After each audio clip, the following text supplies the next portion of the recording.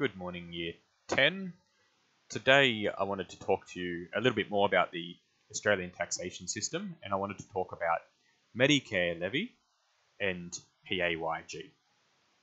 So, two important terms, two important things, so that we can then calculate our tax debts or tax refund funds for our financial year.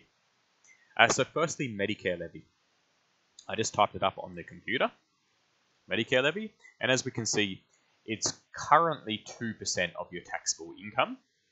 I know your textbook says 1.5%, however, it's been 2% for the last few years as it increased. And what Medicare levy does is it helps to pay for all the health services in Australia. So what we'll do is we'll just firstly get our notes. Medicare levy, okay, is an extra tax to Australia to only the Australian citizens. Okay, so Medicare levy is an extra tax to Australian citizens. So some people in Australia that are working are not paid the or sorry not paid do not have to pay the Medicare levy. That's because it's it would be unfair to them because they do not uh, what do I say? They do not get cover by say a Medicare card. So a lot of families, you might have one, have a Medicare card, so you can go to the doctor for free. Uh, that is paid for by this Medicare levy. Okay, so it's an extra tax that we pay, but it's only for the people that actually will be able to get the Medicare card. So everybody pays a small percent so that then if you do need to go to the doctor, it will pay for it. So everybody's paying for you to go to the doctor. So Medicare levy is an extra tax to Australian citizens. It is charged at 2% at 2% of your taxable income. Now, I should write some things about this. So if you are a low income earner, you do not pay 2% of your taxable income. There is actually a threshold. I think it's the 18,200. It might uh, might have changed, but if you're a low income earner, then you don't actually pay the Medicare levy. Uh, however, there's also a surcharge for the for the high income earners. Okay, you need to be quite a you need to be on quite a good pay to get this Medicare levy surcharge. So, for example, a teacher like myself, I actually don't earn enough money to be able to um, to be to have this Medicare levy surcharge applied as well. So it could be more than two percent if you have to pay a Medicare levy surcharge if you are a high income earner, and sometimes high income earners have a thing called a health fund or a private health fund so that they can avoid paying the surcharge. It's only for people that don't have a, um, a private health fund. Okay, so for most people, it's just 2% of your taxable income. So what does this mean for us? Uh, in our previous session, we looked at a thing called income tax. Okay, and hopefully you got this. And we saw that if you had I'll just use this example. If you had a taxable income of 50,000, you paid a $7,797 income tax, we would add to this the Medicare levy. Okay, we'll add to this the Medicare levy. So let's go through and then see what that is. So 50,000 was 7797. So e.g., um, for an income for a for a taxable income of fifty thousand dollars,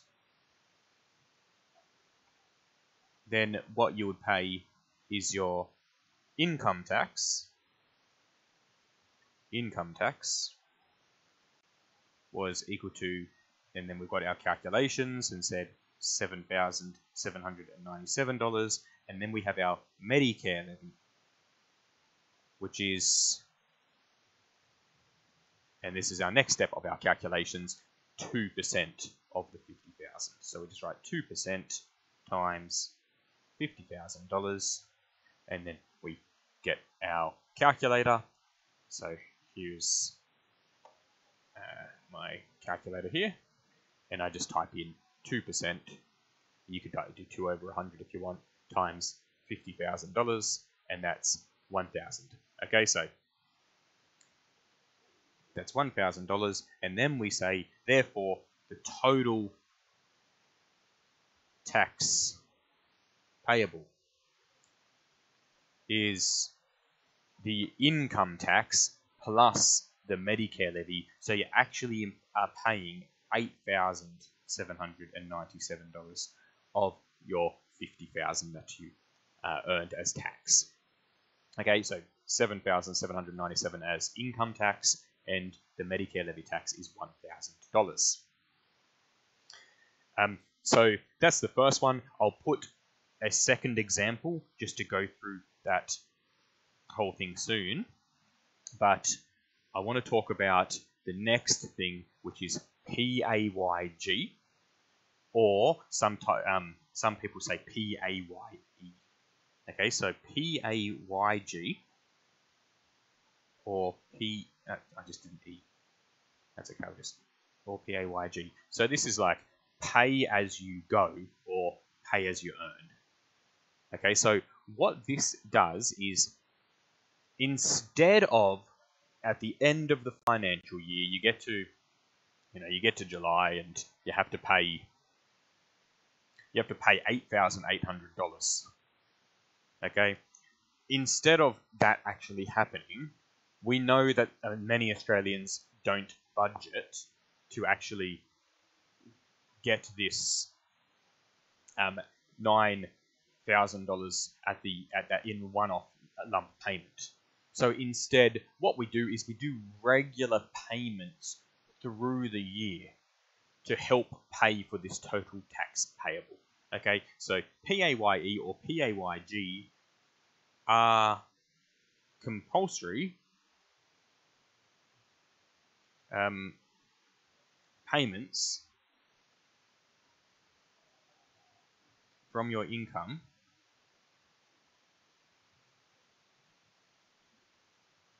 okay, to pay for the the total tax payable. Now,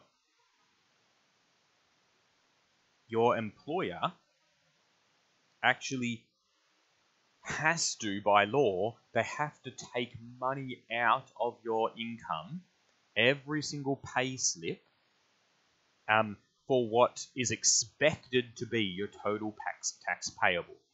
So, for example, if the if you are on a sixty thousand dollar income, the government knows you know exactly how much they think that you'll be paying as a total tax, so they will take away this money um, through every single pay slip so that there is no tax payable at the end of the financial year.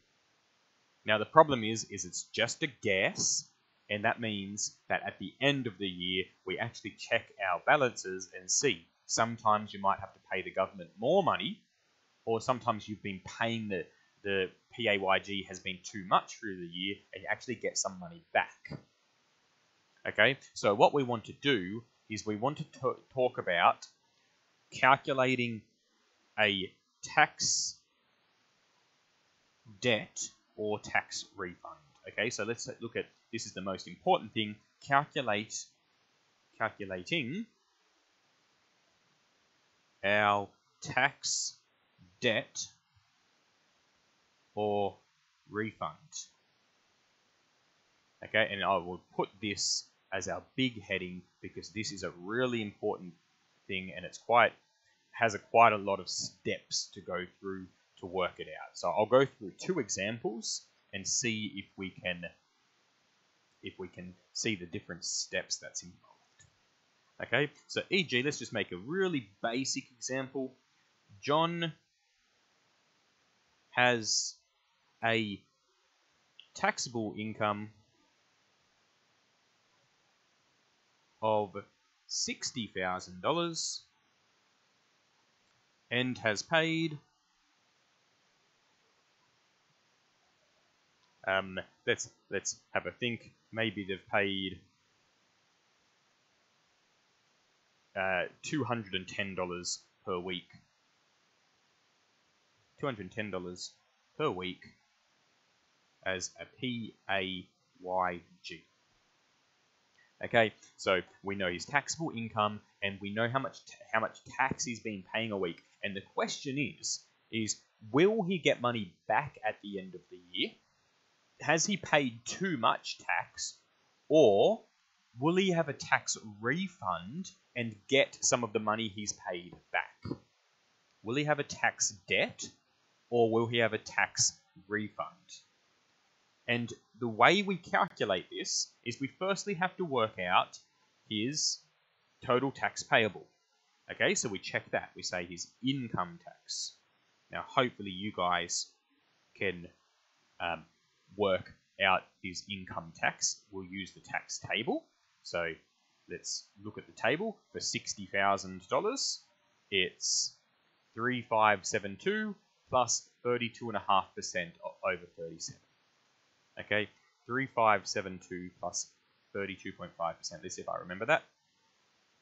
So its income tax was 3572 plus 32.5% of his income over 37,000. So what is his so this is hopefully the calculation you did yesterday and we could just type it in our calculator and work out what his income tax is first. So 3572 plus 32.5% of what is his 60,000 over 37,000. If that was too quick, I'm sure you could uh, pause it to just check to make sure you got that.